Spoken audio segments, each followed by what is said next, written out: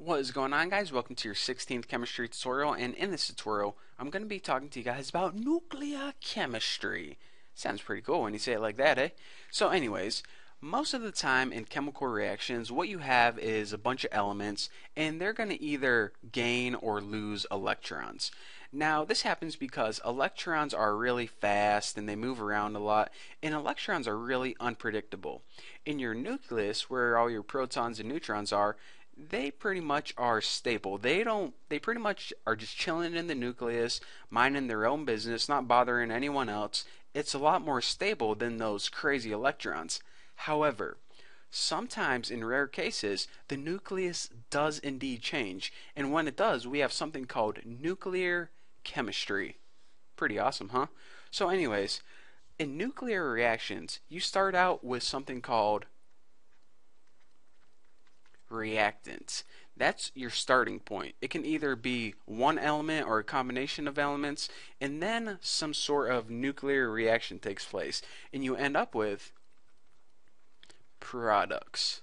So just remember that that isn't only my own terminology, that's the technical terminology that you have. So if you're taking a chemistry test or anything like that, remember you start out with the reactants and you end up with products. And this arrow right here, it actually has a name too. It's called the reaction arrow. It just symbolizes some sort of nuclear reaction that takes place. So you're saying, okay, this uh, equation is pretty useless. When the heck would I ever need this?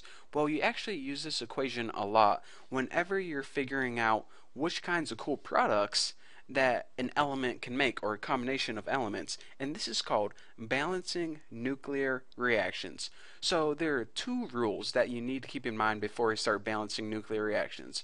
First, the sum of the atomic numbers, I'll just write A numbers, needs to equal the sum of the atomic numbers on the left and right hand side.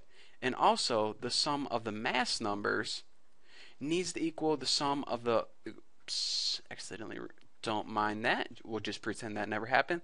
The mass numbers on the right hand side. So we're saying, all right, I need to see an example here. Well, lucky for you, I'm about to do one.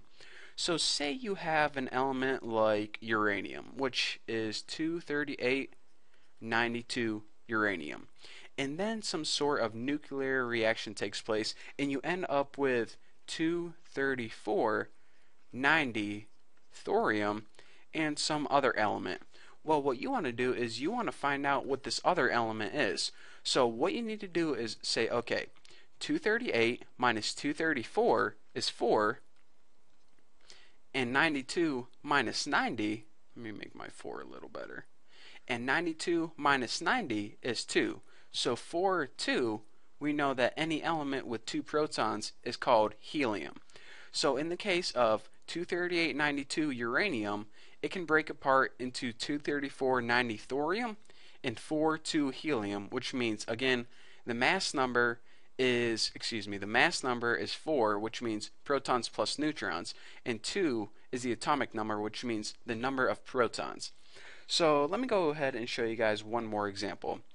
Say you have two heliums, 4, 2 helium, and you combine it with another 4, 2, I don't know why I just put it over like a like what's it called? Uh, numerator and denominator but I did it anyways.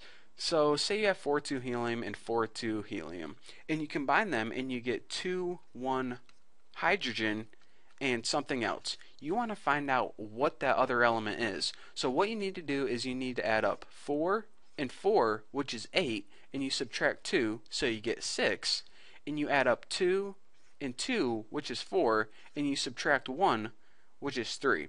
So 6, 3, any element with 3 protons in the nucleus, is lithium.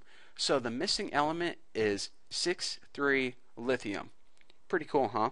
And uh, guess another fun fact is whenever you convert one element to another, it's called transmutation, converting helium into hydrogen and lithium is called transmutation. Just a fun factoid.